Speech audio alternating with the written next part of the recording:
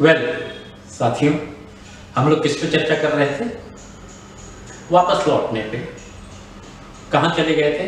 Confusion के zone में चले गए थे। और वहाँ वापस अपने पास लौटने के लिए इस शरीर मंदिर, मस्जिद, चर्च, गुरुद्वारे हाँ ये असली जो जगह है, जहाँ प्रार्थना होनी चाहिए हाँ वहाँ ना करके हम बार बार भटकने लगे थे।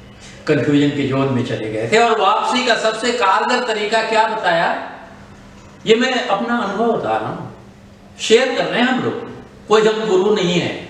कोई हम बहुत बड़े आ, बहुत पांडित्य से भरे हुए नहीं है। कुछ नहीं। सिर्फ़ अपने अनुभव को हम लोग शेयर कर रहे हैं। इसलिए हमने कहा ना आप स्टूडेंट्स हैं ना मैं कोई शिक्षक हूँ। इस समय हम सिर्फ़ यात्री हैं सह यात्री हैं। जीवन यात्री हैं और हम अपने अपने अनुभव शेयर कर रहे हैं। द पॉइंट तो मेरा अनुभव यह है कि अपनी ओर लौटने के लिए जो सबसे कारगर तरीका है, वो साहित्य है।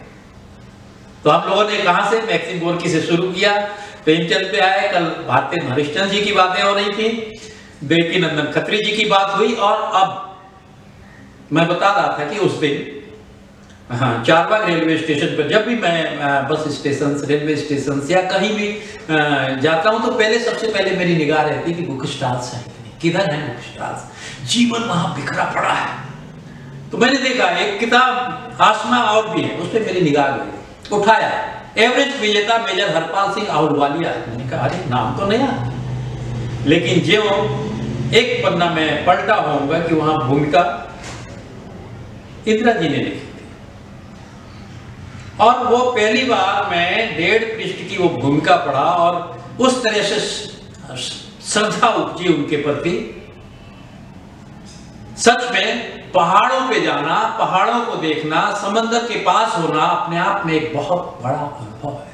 वहाँ पे उन्होंने लिखा है कि कितने छोटे और बौने अपने आप को हम महसूस करते हैं जब पहाड़ों पर होते हैं। पहाड़ मुझे बहुत प्रिय, समंदर मुझे बहुत प्रिय मुंबई इसीलिए समंदर में खींच लिया, बुला लिया। ये उनका स्नेह है। और मेजर हरपाल सिंह आहलूवालिया जम्मू कश्मीर के बॉर्डर पे हैं। सनसनाती हुई दो गोलियाँ आती हैं। तो साथियों, आसमा और भी और एवरेस्ट विजेता मेजर हरपाल सिंह पे ब्रेक के बाद, ठीक है?